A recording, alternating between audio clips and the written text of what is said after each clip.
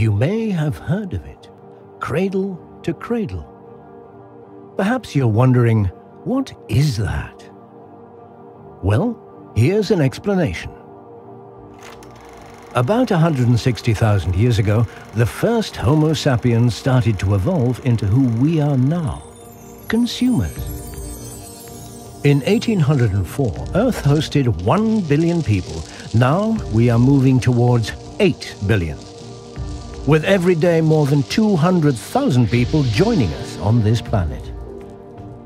In modern culture, we are surrounded by commercial products. Products that make our lives pleasurable and more convenient. So imagine there are 8 billion of us. This means mass production. Being able to produce all these products means we need resources and lots of them. But there's a problem. During all these years, we've kept on using resources, but using without thinking of reusing has led to this potential problem. The time will come that there will be a resource scarcity, sooner than most of us realize. And the other problem is waste. Most companies are still working with a take, make, waste industrial system. Carefully designed products are thrown away quicker than before.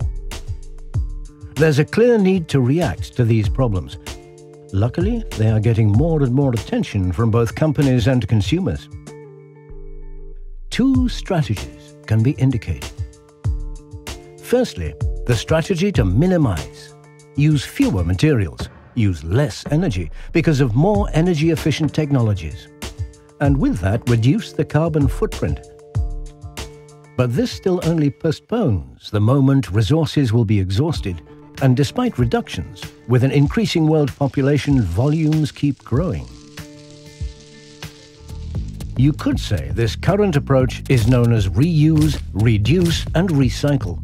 And though this is a good start, it is only being less bad. Let me introduce Strategy 2. Rethink the way we make things and use materials effectively.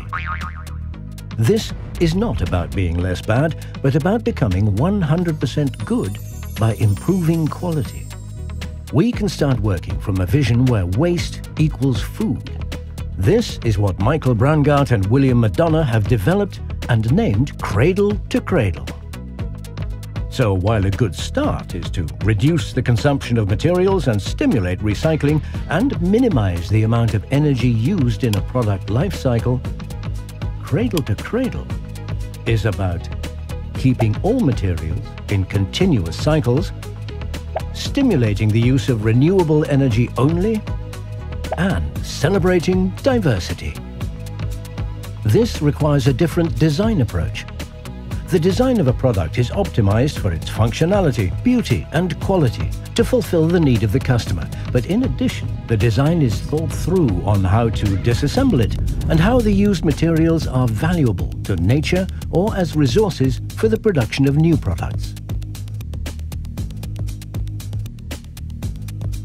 We need to know exactly what materials are being used. Because who wants their child to play with toys that are full of hazardous chemicals? In cradle-to-cradle design, every part of a product is designed with the intention of bringing it back in the technical cycle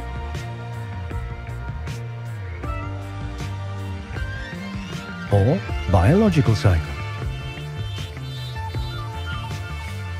Imagine that we no longer use materials, but we borrow them instead. Then waste would no longer exist. Apart from thinking about materials, cradle-to-cradle design also considers two other important aspects. Firstly, stimulate the use of renewable energy only.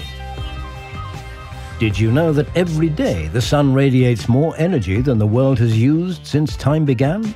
Using only renewable energy means we can use it endlessly.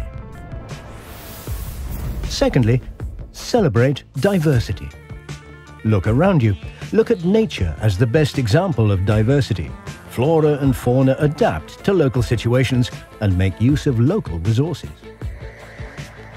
With cradle-to-cradle design, companies can differentiate with innovative products and make money with 100% good stuff. Designed for its functionality, beauty and quality. Also, they will profit from cost savings and added value. Who benefits? You. Because wouldn't it be great if our children and children's children can enjoy the same quality of life or better because we set good intentions and have redesigned the way we make things. This is what motivates us. Regs. Inspire. Create. Act. Cradle to Cradle is a registered trademark from MBDC.